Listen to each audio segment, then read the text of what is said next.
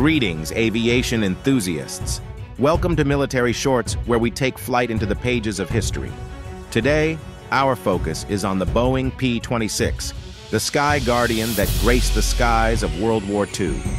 Join me as we uncover its technical specifications, sleek design, and the aerial prowess that marked an era. The Boeing P-26, a sleek silhouette that ruled the skies during World War II.